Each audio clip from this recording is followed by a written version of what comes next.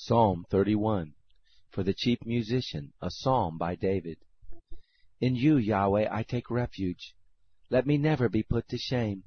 Deliver me in your righteousness. Bow down your ear to me. Deliver me speedily. Be to me a strong rock, a house of defense to save me. For you are my rock and my fortress.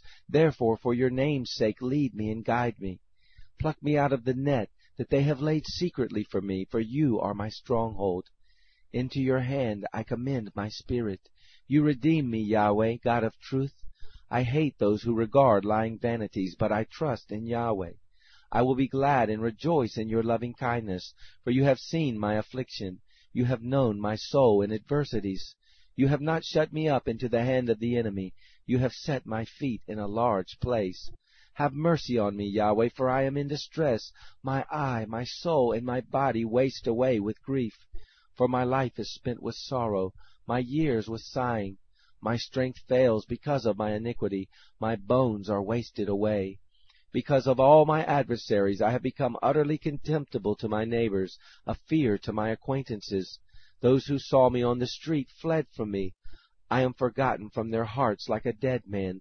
I am like broken pottery. For I have heard the slander of many, terror on every side. While they conspire together against me, they plot to take away my life. But I trust in you, Yahweh. I said, You are my God. My times are in your hand. Deliver me from the hand of my enemies, and from those who persecute me. Make your face to shine on your servant. Save me in your loving kindness. Let me not be put to shame, Yahweh, for I have called on you. Let the wicked be put to shame. Let them be silent in Sheol. Let the lying lips be mute, which speak against the righteous insolently with pride and contempt. Oh, how great is your goodness, which you have laid up for those who fear you, which you have worked for those who take refuge in you before the sons of men. In the covert of your presence you will hide them from the plotting of man.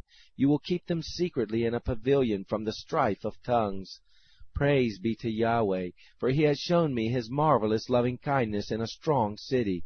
As for me, I said in my haste, I am cut off from before your eyes.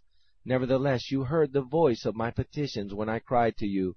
O love Yahweh, all you his saints. Yahweh preserves the faithful and pays back him who deals proudly in full. Be strong, and let your heart take courage, all you who hope in Yahweh.